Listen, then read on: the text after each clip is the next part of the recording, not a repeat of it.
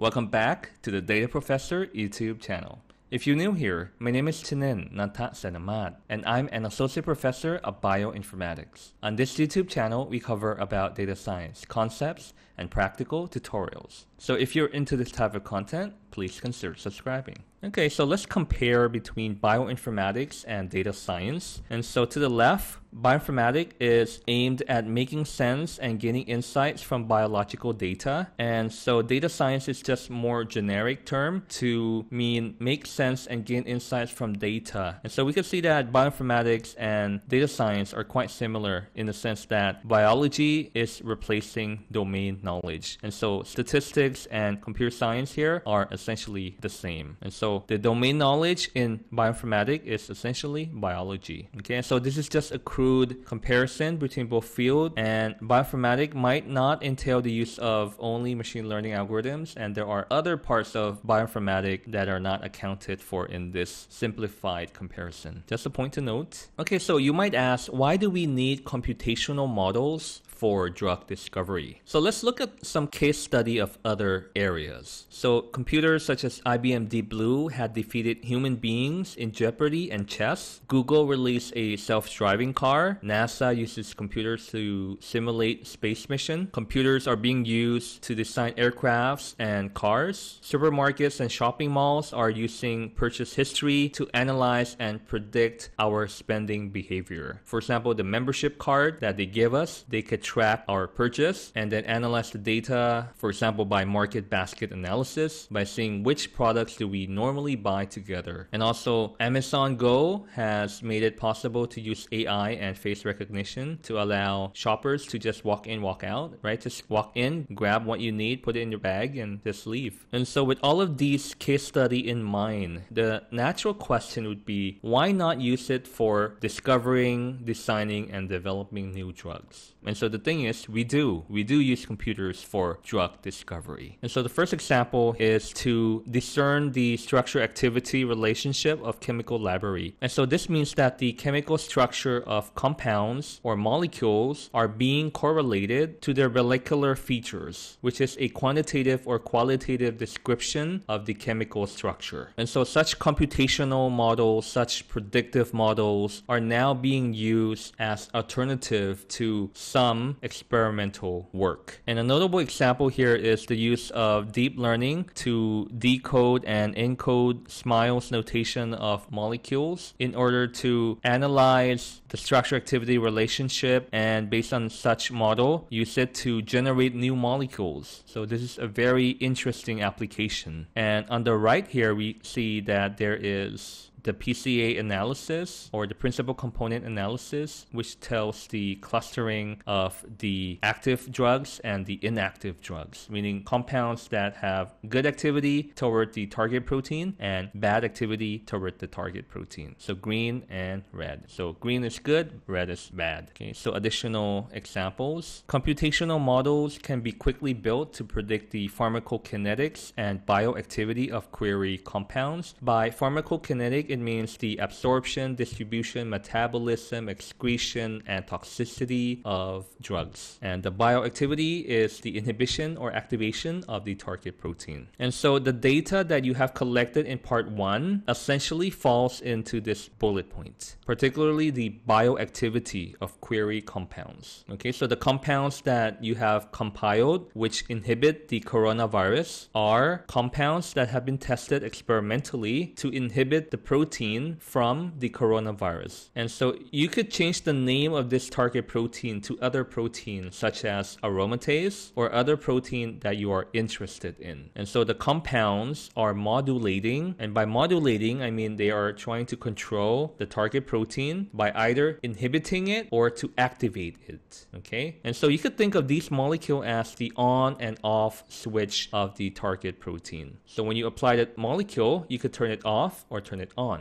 in terms of the function of the protein. And so your predictive model using machine learning will allow biologists and chemists to understand the relationship between which molecular feature give rise to the biological activity. And such predictive models can be applied for personalized medicine. And so this figure is an example of the functional group analysis from structure activity relationship model building from one of our papers. Okay, and other specific questions that can be answered by computational models include what target proteins, what target proteins can my compound bind to? And so the target protein could be the aromatase, or it could be the protease, it could be the glucosidase, amylase, etc. And so with the target protein of your interest, you want to know which compound or small molecule could come and modulate this target protein's activity, either to inhibit or to activate it. And so the second question could be what type of compound can bind and modulate the bioactivity of the target protein of my interest? And and the third question would be Are there any similar compounds to my query compound that may potentially exert similar binding behavior? So let's say that you have a FDA approved drug that has been known to inhibit aromatase enzyme. And you want to know is there any other small molecule that have similar structure with this FDA approved drug? And so the reason being that the FDA approved drug might be a good drug, but it might have some side effects that are undesirable and so the goal of drug discovery and drug design is to develop drugs with minimal side effects. And so that entails the optimization of the pharmacokinetic, comprising of the absorption, distribution, metabolism, excretion, toxicity. Okay, and so it would be interesting to see is there any similar structure to the FDA approved drug that has similar binding effect but with a safer pharmacokinetic profile? And so all of these could be answered by applying machine learning and data science. Okay, and so as we know, data science is the process of identifying and making sense of hidden patterns. And so this hidden patterns could be the knowledge, and we try to make sense of the hidden patterns that are found in the large amounts of data. And so typically the data has this hierarchy going from raw unstructured data to becoming more structured data. And then once we structure the data, we could uncover the patterns. And once we have the patterns, we can gain knowledge. And finally, we could apply it to have wisdom. Okay. And so on to QSAR modeling, which stands for quantitative structure activity relationship modeling. So this is a mathematical modeling that tries to find relationship between chemical structure structure and the bioactivity or the biological activity. And so the chemical structure could be represented by a set of molecular descriptors, which could be quantitative or qualitative. And the molecular descriptor will be about the physical chemical properties of the molecule. The molecular descriptor could either be global features or local features. By global, meaning molecular weight at the holistic level, and local features could mean like the small, minute detail, like the functional groups, hydroxy group, nitrogen atoms, or the charge of specific portion of the molecule. Okay, so I'm going to cover that more in the subsequent video tutorials where we generate the molecular descriptor. And so I'm going to tell you which one are the global features and which ones are the local features. And so this is the workflow of the QSAR modeling or QSAR modeling. And so this is from the first review article that I have written back in 2009. So it was my first review article which I wrote about the QSAR modeling. So you could copy this and paste it into Google to read more more details about it. Or I could also provide it in the description down below. And I could also provide it in the video description. So you could check that out. And another similar terminology related to the QSAR modeling would be proteochemometric modeling. And so I'm not going to go into much detail about this. It's more advanced, which would be better to save for future videos as well. And so let's think of the proteochemometric model as several QSAR models combined together. Okay, so that's the essential concept of the PCM. So we're gonna skip it for now. And so this is the holistic level of all of the resources and tools available for drug discovery at the holistic level. And so this is from one of my editorial articles. And this is a summary of the procedures for the development of the QSAR model model. So it's essentially the development of machine learning models. And when we use machine learning to make sense of this chemical data, biological data, we change the name to QSAR. But it's essentially machine learning model.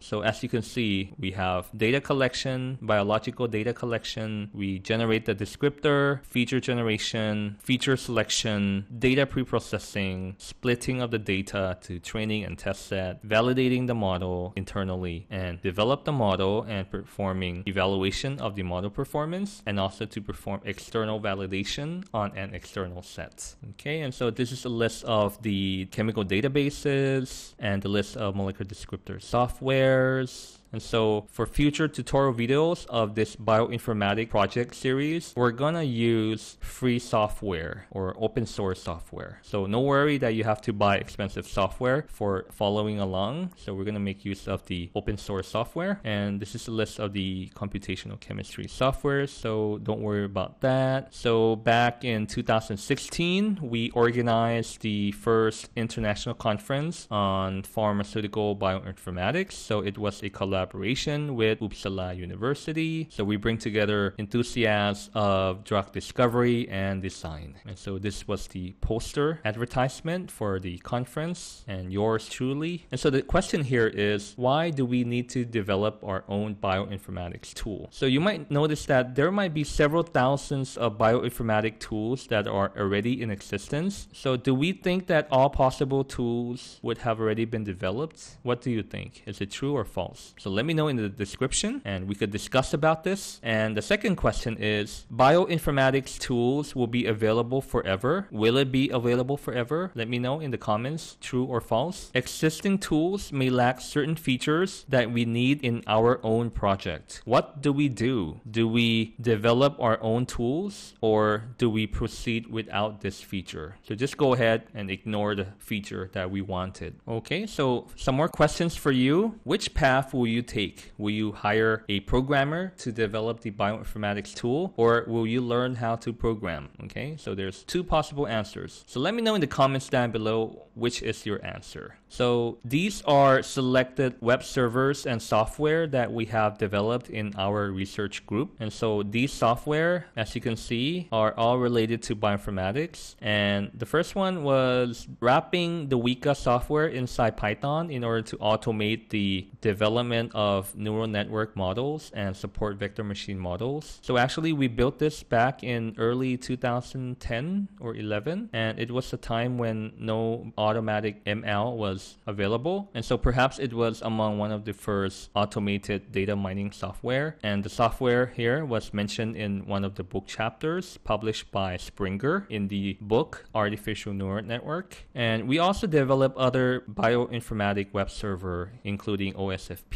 Cryoprotect, Hemopred, BioCurator, and PyBact. And so our research group are practicing research reproducibility, whereby we try to share the code and data that were used to prepare the analysis in the papers that we publish so that other interested users can reproduce the work and perhaps make use of it in their own research. And these are some of the book chapters and review articles that we have contributed. And so this is the bonus that I was talking about earlier on, which is the steps to developing a bioinformatic tool. And so as you can see, essentially there is six steps. And so the first step would be to come up with the concept of the bioinformatics tool. So you want to figure out what bioinformatic tool or software that you want to develop. And normally the idea for the bioinformatic tool will come from an unsolved problem that you might have, or it might be an inconvenience to your project that you figure out would be an interesting topic to explore further. For example, it could be a problem or something that might slow down your analysis. And if you are able to solve that by means of developing a bioinformatic tool, then it could not only save your time, but other people's time as well. Okay, so coming up with the concept of the bioinformatic tool could come from the problems that you encounter. And so once you come up with the tool, you want to make a list of the features that you want to see. So make a wish list of the features. And so step number three is to list the sequential workflow methodology, meaning the protocol or the pseudocode of the bioinformatic tool, like step one, step two, step three. What do you do? How do you pre-process the data? Okay. And so step number four is that you have to realize that bioinformatics tools are essentially a collection of small tasks meaning that if you click on one button, it will invoke a particular task. It could be performed by a particular function that you develop. And if you click on another button, it will perform another function, right? So it is essentially a collection of tasks. And so you weave it together to get this software. And so step number five is you want to work on the coding of each of these small tasks individually. And so let's think of it as like a chapter in a book right? So many chapters will comprise a book. So you will work on individual chapters and within no time you will be able to complete all of the chapter to form the entire book. And so the last step is to make sure that the entire workflow work as desired. Okay, so this is about testing, about debugging. So you want to try from the beginning, right? You want to input the data and see whether it provides the desirable intermediate data and the output data, which is the final data, right? Okay, and so if you find value in this video, please give it a thumbs up. And if you haven't yet subscribed, please subscribe to the channel. And as always, the best way to learn data science is to do data science. And please enjoy the journey. Thank you for watching. Please like, subscribe, and share, and I'll see you in the next one. But in the meantime, please check out these videos.